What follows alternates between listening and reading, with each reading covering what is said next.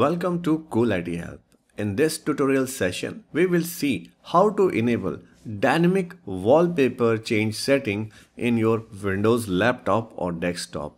Let's do it. So on your desktop, do the right click and select display settings. Here we go. Under the settings, you will be landed here. Then on the left hand side, select personalization, right? After that, go to the right hand side, click on this background option. Okay, once you click, this kind of uh, drop down will open and you will see some option. So on this, select Windows Spotlight.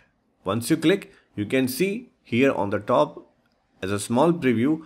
So the dynamic wallpaper will appear. That means your dynamic wallpaper settings enabled. Now every time when you switch on your machine and your laptop or desktop is connected with the internet and you will see the new and the fresh desktop background image. Make sure you are connected with the internet.